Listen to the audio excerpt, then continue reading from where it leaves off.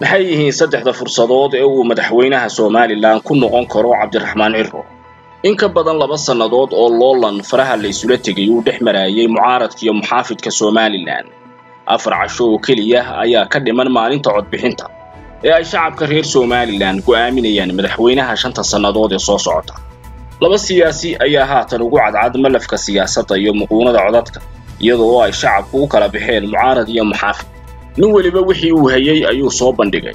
Hayaanka siyaasadduna waxa uu ku soo gebagaboobay in shacabka gacantiisa ay taladu dib ugu noqoto oo ay go'aamiyaan mar kale madaxweynaha shanta sannadood ee soo socda. Somalilan majaraha u sii qaban doona. Biixii iyo ciro oo hore ugu tartamay doorashadii laba kun iyo toddobiyo toban.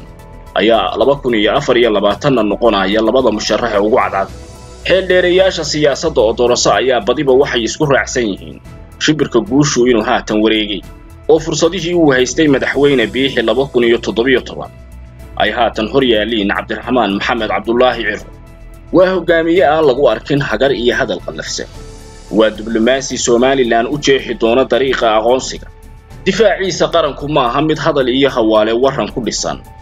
Ee waa himilo laga dhabayn doono boqolka maalmood ee ugu horreeya cabdiraxmaan ciro oo ay isku raacsan yihiin xeeldheerayaasha siyaasadda oo dorosaa maanta inuu yahay murashaxa ugu dhow noqoshada madaxweynaha somalilan ayaa helaya saddex fursadood oo gaadhsiinaya himilada iyo hiigsiga uu inta muddada ah ku soo hamiyay waxaana kow ka ah dhibaatooyinkii dhacay saddexdii sannadood ee ugu dambaysay ee lagu dhaliilayo xukuumadda madaxweyne biixi oo sababay shacabka reer somalilan inay isbeddel ka raacaan.